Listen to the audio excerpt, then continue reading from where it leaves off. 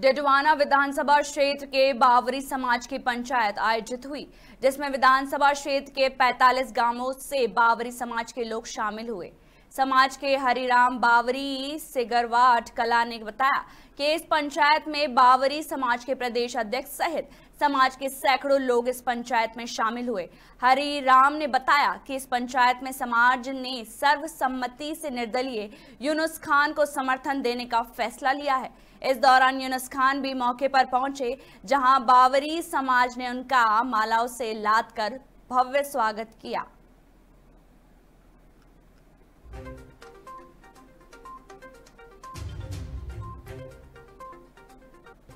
बावरी समाज के राष्ट्रीय अध्यक्ष। राष्ट्रीय अध्यक्ष। जी। आज की इस पंचायत में क्या निर्णय लिया आपने? आज की पंचायत में निर्णय लिया कि सभी लोग एकजुट होकर यूनिस खान जी को समर्थन करेंगे।